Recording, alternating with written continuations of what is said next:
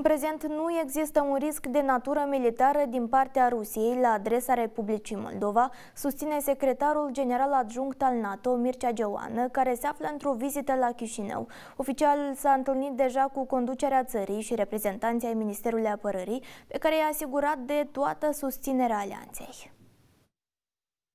Vreau să reconfirm uh, aici la Chișinău uh, faptul că nu vedem Uh, un risc de natură militară din partea Federației Ruse la adresa Republicii Moldova. Pentru simplu fapt că Ucraina face o treabă atât de bună și cu sprijinul nostru, încât acest risc militar în acest moment și pe perioada predictibilă nu este aici.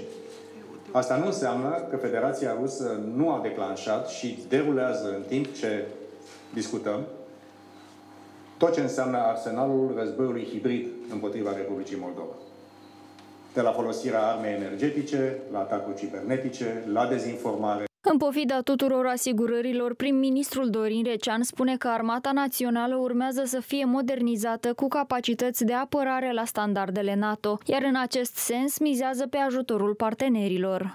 Neutralitatea Moldovei nu înseamnă indiferență. Neutralitatea Moldovei nu înseamnă că nu trebuie să facem nimic. De asta noi trebuie să ne consolidăm capacitatea de apărare, de asta trebuie să facem aceste investiții în uh, armata națională, în așa fel încât să avem uh, armata națională la standardele NATO și evident aici vom avea uh, susținerea partenerilor uh, noștri. Secretarul general adjunct al NATO, Mircea Joană, a venit la Chișinău într-o vizită de două zile.